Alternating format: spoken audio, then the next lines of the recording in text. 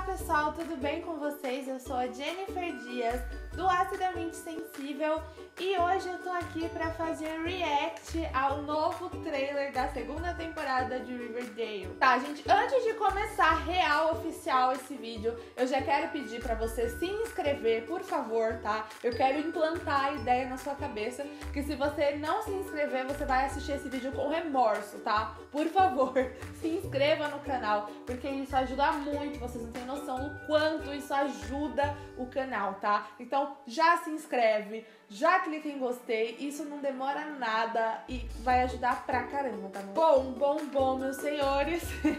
Sempre chove comentário aqui pra eu fazer mais vídeos sobre Riverdale e eu entendo porque, tá? Infelizmente nós que somos fãs de Riverdale estamos carentes de vídeos sobre a série. No Brasil a gente não tem ninguém que fale real, assim, da série. Então, tudo bem, eu aceito essa missão de falar sobre Riverdale pra vocês. É, eu estou aqui com meu notebook para poder pôr o trailer para assistir. É a primeira vez que eu faço vídeo react, então vamos ver se vai dar tudo certo. Eu vou tentar fazer um react diferente, eu não vou só ficar fazendo expressões faciais, tipo, oh meu Deus! Eu vou ir comentando o trailer com vocês, tá bom? Então é isso, vamos dar o play aqui para assistir. Música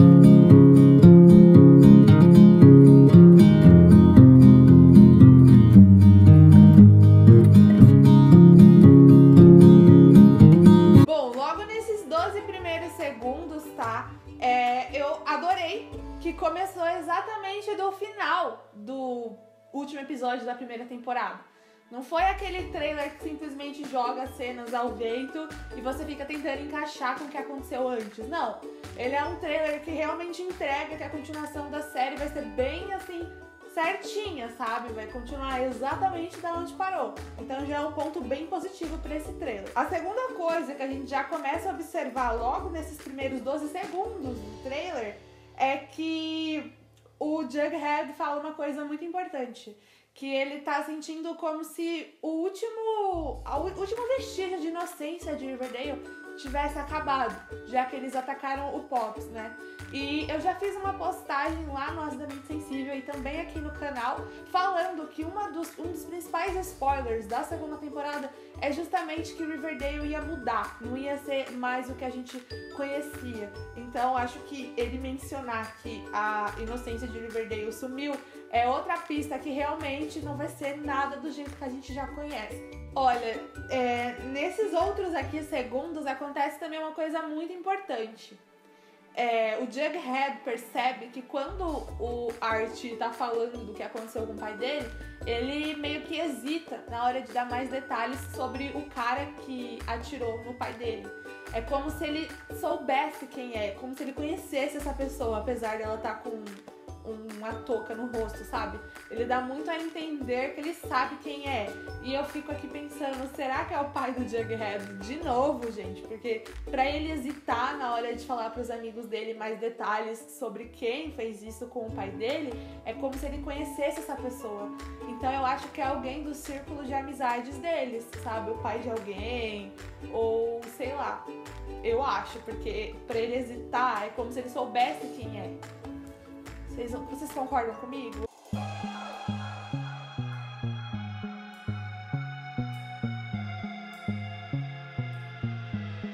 Olha só, isso que o Pop diz também revela muito que essa segunda temporada vai ser extremamente sombria. Não vai ter nada de fofinho e bonitinho, vai ser bem dark mesmo. Eu também já fiz um post falando um pouquinho do que a gente já sabe que vai rolar na segunda temporada. E nesse post, que também já virou vídeo aqui no canal, que eu vou deixar pra vocês aqui embaixo, eu falo que a gente vai ver o lado sombrio da Belly mais aflorado. E eu acho que vai acabar que não vai ser só o lado mais sombrio da Belly, mas de todos os outros personagens, né? Porque como a cidade tá ficando cada vez mais sombria, eles vão reagir em torno disso. Então eu acho que eles vão ficar mais assim, sabe, sérios e. Meu Deus!